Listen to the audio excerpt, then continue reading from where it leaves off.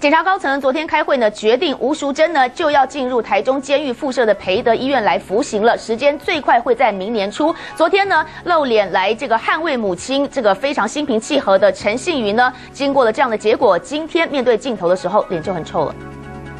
哎，昨天有没有跟妈妈联络？昨天有没有跟妈妈联络？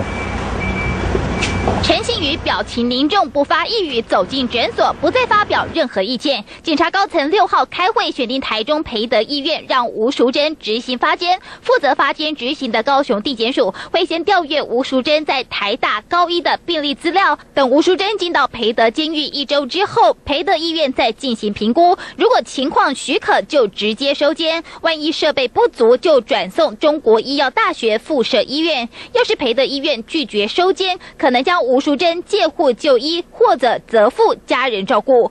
陈庆云在得知吴淑珍即将发监的消息，也曾表示尊重司法，但强调不要为了关贬家人而关。如果说以他的身体状况，其他受刑人是没有办法入监服刑的，不要因为我妈妈我们是贬家，就为了他要。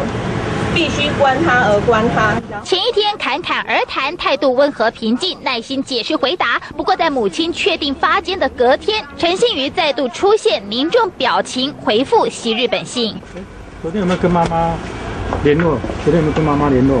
中天新闻来关张高梦柔 S N G 小组台南高雄综合报道。